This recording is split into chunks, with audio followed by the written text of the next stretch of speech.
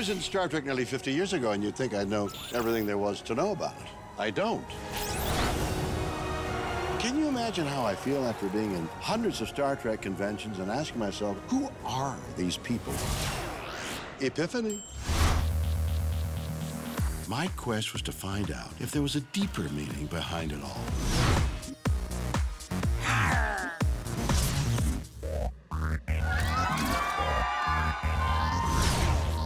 I just finished my first event, and they were saying things like, welcome to the family. It's pretty awesome.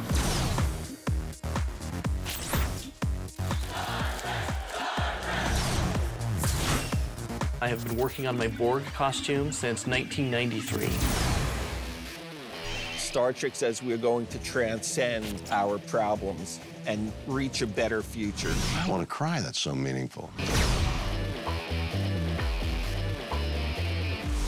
Will be assimilated.